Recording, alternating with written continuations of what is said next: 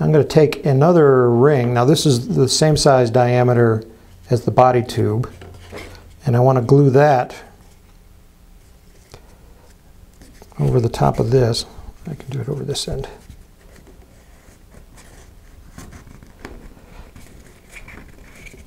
Okay, now I don't want it flush with the centering ring. I want it back just a little bit, probably about a sixteenth of an inch. And the reason for that is when I put my cone over the top of it,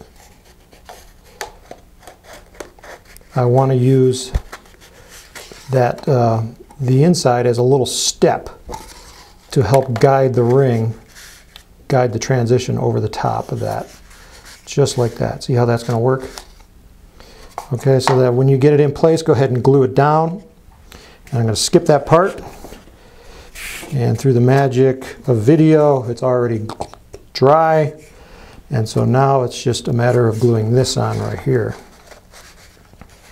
Now, I do not really like using uh, wood glue on transitions because the wood glue, as I said before, it swells the fibers and then it contracts them. And it's going to give you a kind of a rough appearance.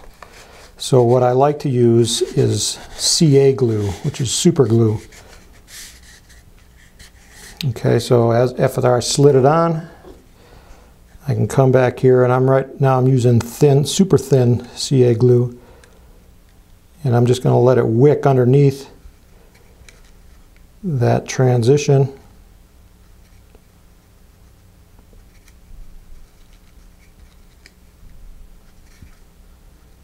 I'm just going around the perimeter.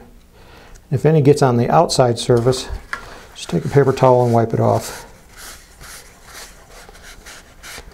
The, the super thin variety, it, it cures up really fast, so you got to work quick if you're going to wipe it off and then do the front end.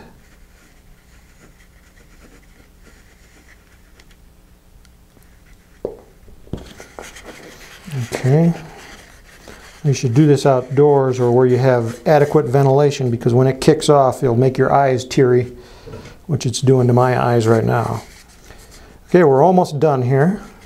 And our next step is to take the super thin, and again, we're going to saturate the whole, uh, the whole, the whole surface of the paper. Uh, the super glue will wick into that paper and make it really stiff. And I'm really working into this seam here first because I don't want that seam coming apart. Because right now, the only thing that's holding it is the uh, rubber cement and it doesn't have very much um, holding power. But the super glue, once it grabs it, it'll lock it down pretty good.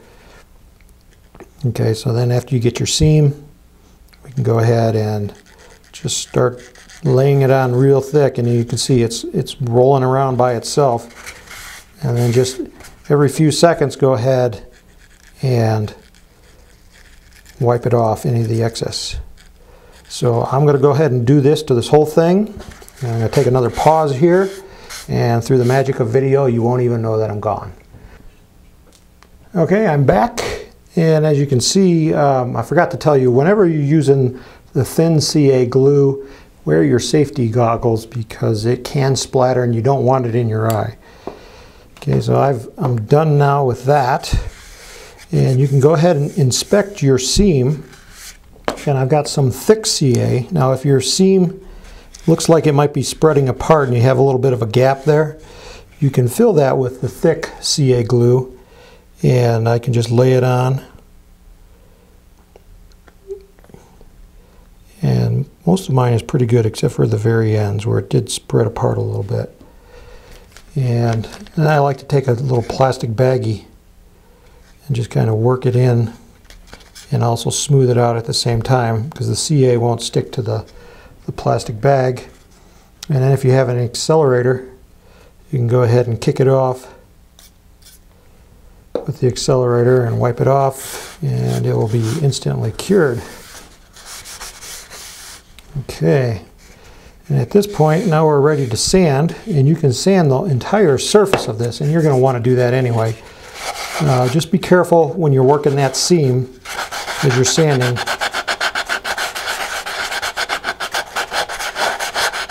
so that you don't uh, accidentally cut, uh, break it open. But just work it, and I like to use those, uh, and I didn't bring any with me today, but those uh, foam sanding pads because they have a little bit of a curvature to them and you can, and it kind of hugs the, the, the outside of the transition.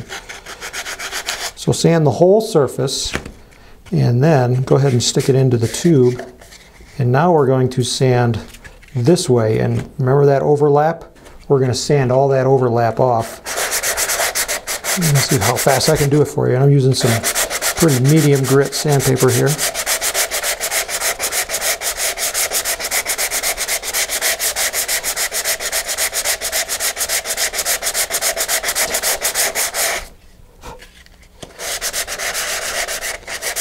See, and I'm keeping it parallel to the tube because I don't want to round off that edge. But you get the general gist of the idea here.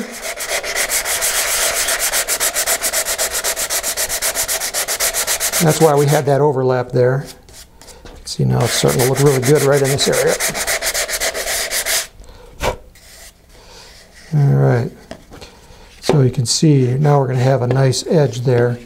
And if we did that right, um, we can we can um, go ahead and tack down the edge if it starts coming up. Mine is coming up right there. So, and if you're going to do this, go ahead and use the thin CA. Just going to, I like these little applicator tips because they allow you to get right down in the edge. And because there's a little shelf under there, it's going to grab it nicely. All right, so that is the procedure. Go ahead and finish sanding it and you're going to end up with a great transition. And the, because it's been soaked with the, the CA, um, it's going to have a nice stiffness to it. Um, and you can also stiffen it up even more. Um, and the directions for that are in the book, again, Model Rocket Design and Construction. Um, and then when you're done, uh, because it's got the CA on it, uh, it will paint up really nice uh, without soaking up a lot of paint. Uh, so there's the transition, and my name is Tim Van Milligan, and I'm from Apogee Components. Our website is www.apogeerockets.com. Please come and visit our website and let us know how we're doing. Thank you. Okay, uh, I'm Al Zelenak. I'm local. I'm Colorado Springs resident. And uh, I buy from Apogee because of the outstanding service and the friendly people. There is not a question that is too dumb for them to answer.